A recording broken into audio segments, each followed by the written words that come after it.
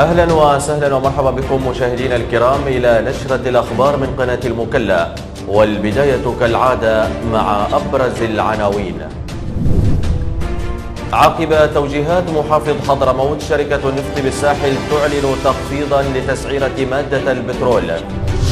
فرع نقابة الصحفيين بحضرموت وشبوة والمهرة ينظم لقاء تضامني ومهني. المكلا تشهد مهرجانا لألعاب القوى للأطفال.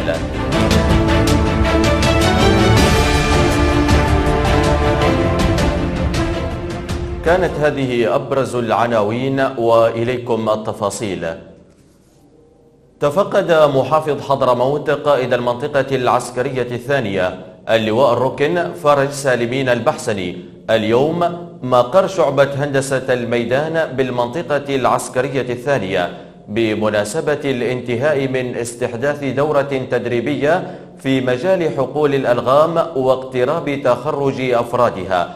وأثنى محافظ حضرموت على مستوى الأنشطة والمهام البطولية التي قام بتنفيذها ضباط وصف ضباط وجنود هذه الشعبة منذ عملية تحرير ساحل حضرموت. حيث قدمت شعبة الهندسة قافلة كبيرة من الشهداء أثناء قيامها بنزع الألغام والعبوات الناسفة والمتفجرات موجها بتطوير الشعبة ودعمها بتوفير كافة الأجهزة والمعدات الضرورية لأداء واجبها ومهامها على أكمل وجه. وقدم أفراد الدورة نماذج من التدريبات التي تلقوها والأداء الميداني أثناء ممارستهم لعملهم الوطني في الكشف عن الألغام والمتفجرات. أعلن فرع شركة النفط اليمنية بساحل حضرموت عن تخفيضات جديدة في تسعيرة بيع مادة البترول في محطاتها الرسمية والتجارية. وبناء على توجيهات محافظ حضرموت بشأن تخفيض أسعار المشتقات النفطية أصدر مدير عام فرع الشركة بالساحل الدكتور خالد العكبري تعميما بتخفيض سعر بيع مادة البترول إلى 250 ريال للتر في جميع محطات الشركة بدلا من السعر السابق 260 ريال. وبحسب التعميم الصادر فإن لجنة المشتقات النفطية بالمحافظة قد أقرت أن يكون سعر مادة لتر البترول بالمحطات التجارية وفق السعر اليومي للمبيعات وليس وفق آخر فاتورة شراء سابقة للمحطة وحددت الشركة سعر مادة البترول في المحطات التجارية للتر ب 250 ريال قابل للزيادة والنقصان محددة العمولة المحددة بعشر ريال للتر الواحد في كل محطة تبيع بالسعر التجاري. كما أكدت الشركة تحملها أجور النقل حسب المسافات المعتمدة من قبلها. أهابت قيادة المنطقة العسكرية الثانية لجميع المواطنين عن إغلاق الخط الدولي الرابط بين منطقة شحير ومديرية الشحر ابتداء من الاثنين المقبل ولمدة ثلاثة أيام لدواعي أمنية.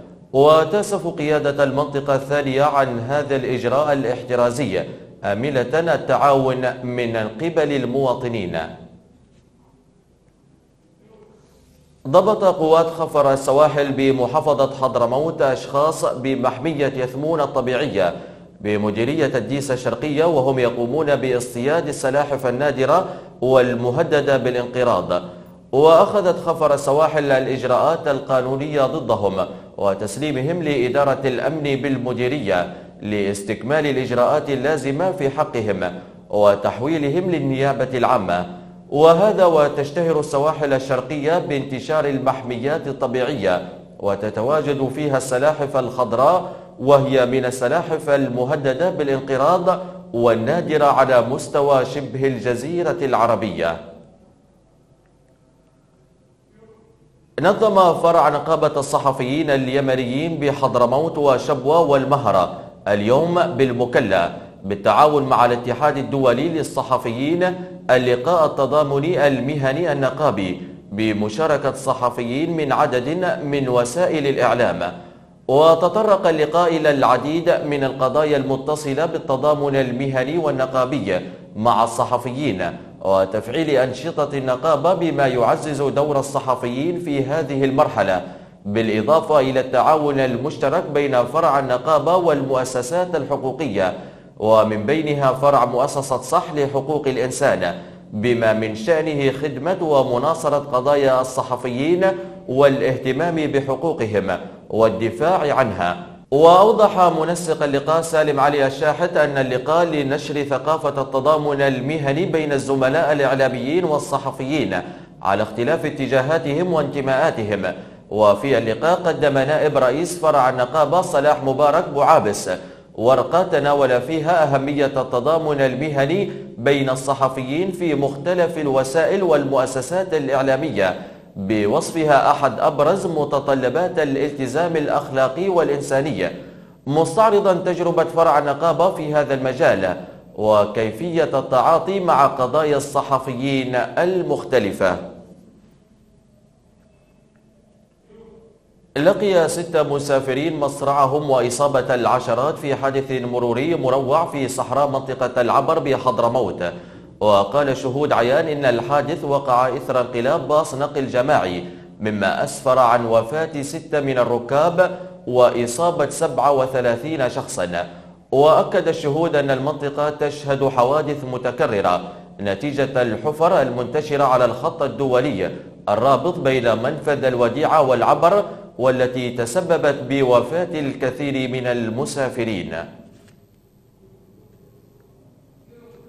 وصلت إلى ميناء الزيت في العاصمة المؤقتة عدن باخرتين محملتين ب 63700 طن من مادة الديزل و 13000 طن من مادة المازوت كدفعة ثالثة من منحة المشتقات النفطية المقدمة من المملكة العربية السعودية والمخصصة لتشغيل محطات توليد الطاقة الكهربائية في عشر محافظات يمنية محررة ووصول باخرة ثالثة إلى ميناء المكلا محملة بعشرة ألف طن من مادة الديزل مخصص لمحطات الكهرباء في محافظات حضرموت وشبوة ومأرب والجوف من المنحة ذاتها.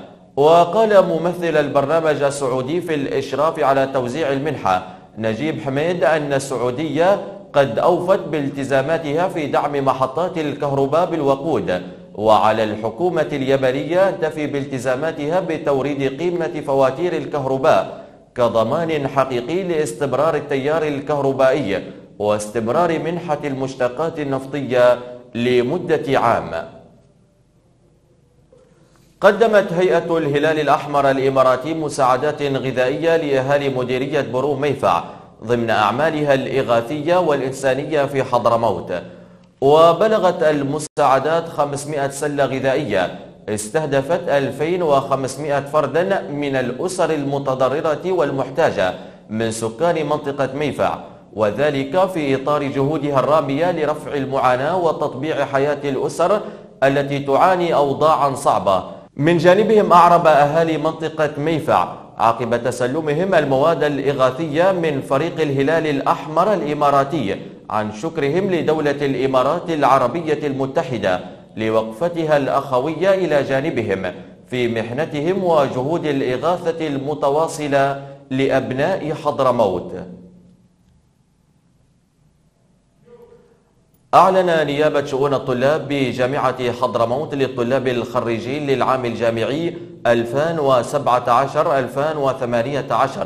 بجميع الكليات عن ابتداء توزيع الشهادات ابتداء من يوم الثلاثاء الأول من يناير وخصصت نيابة شؤون الطلاب برنامج توزيع الشهادات الجامعية بالصالة المركزية برئاسة الجامعة لكليات الصيدلة والمختبرات والتمريض والقانون يوم الثلاثاء وكليتي العلوم والتربية بالمكلا يوم الأربعاء وكلية الهندسة والبترول يوم الخميس فيما خصصت يوم الأحد لكلية الآداب ويوم الاثنين لكلية العلوم الإدارية وفي مركز الجامعة للخدمات الطلابية بالمكلا مول سيتم توزيع الشهادات لكليتي البنات بالمكلا والعلوم البيئية والأحياء البحرية وسيتم توزيع شهادات كليات الوادي في مركز الجامعة بسيئون فيما ستوزع شهادات كلية التربية بالمهرة بالكلية ونوهت نيابة شؤون الطلاب بإحضار نسخة من إخلاء الطرف والبطاقة الجامعية لآخر مستوى دراسي عند استلام الشهادة الجامعية. شهد ملعب الفقيد براد بمدينة المكلا فعاليات مهرجان الأطفال لألعاب القوى بمشاركة ستة أندية من مديرية مدينة المكلا مثلها عددا من الأطفال للسن المستهدف من السنة العاشرة إلى الثاني عشر واحتوى على فعاليات متعددة خاصة بالأطفال. المزيد من التفاصيل نتابع هذا التقرير. شهد ملعب الفقيد براد بمدينة المكلا فعاليات مهرجان الأطفال لألعاب القوى الذي أقيم برعاية من وزير الشباب والرياضة الأستاذ نايف صالح البكري ومحافظ حضرموت قائد المنطقة العسكرية الثانية اللواء الركن فرج سالمين البحسني وإشراف من مكتب وزارة الشباب والرياضة بساحل حضرموت وتنظيم من اتحاد ألعاب القوى بالساحل الذي اختتم بهذا المهرجان أنشطته وبرامجه وفعالياته لعام 2018 وشارك في المهرجان ستة أندية هي أندية مديرية مدينة المكلا وحدة المكلا وهلال فوة وشعب حضرموت والمكلا وشباب روكب والتضامن. ومثلها عدد من الأطفال للسن المستهدف من 10 إلى 12 وأشرف عليها الكابتن أحمد عبد الله بنصر الحاصل على شهادة الاتحاد الدولي لألعاب القوى المتخصص في مجال الناشئين والناشئات. المهرجان يعد الانطلاقة والقاعدة التي تنطلق منها مواهب المستقبل وهي البيئة المثالية التي يتم من خلالها اكتشاف وانتقاء أفضل العناصر الرياضية والعمل على تطويرها وتوجيهها والارتقاء بمستوياتهم البدنية والمهارية. والأهم من ذلك نشر الثقافة الرياضية لدى الأطفال وتشجيعهم على ممارسة الرياضة لتكون بمثابة أسلوب حياة. الختام للفعاليات. شهد حضور وكيل محافظة محافظة حضرموت للشؤون الفنية المهندس محمد العمودي بمعية المدير العام لمكتب وزارة الشباب والرياضة الكابتن حسن صالح مسيدي ونائب عميد كلية التربية بالمكلا بجامعة حضرموت رئيس قسم التربية البدنية والرياضية الدكتور سعيد فرج الرمادي وعضو مجلس إدارة الاتحاد اليمني لألعاب القوى الكابتن حامد عمر بحارث ورئيس اتحاد ساحل حضرموت الكابتن سعيد بايماني والخبير الرياضي الكابتن حاج سليمان بام مقنع.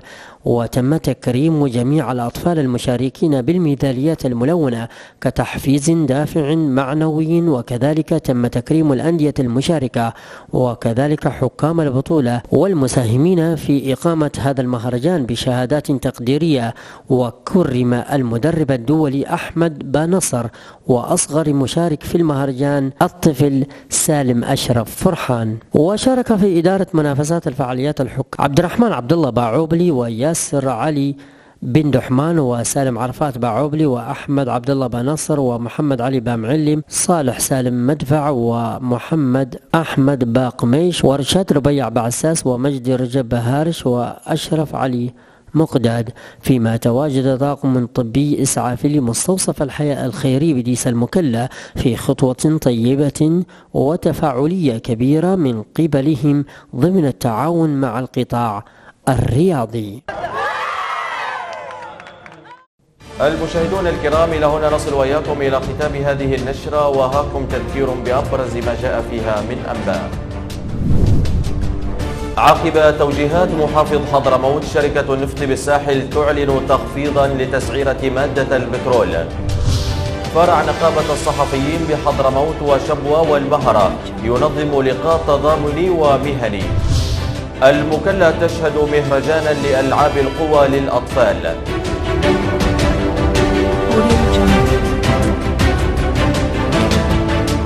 وبالتذكير بالعناوين نصل وإياكم إلى ختام هذه النشرة.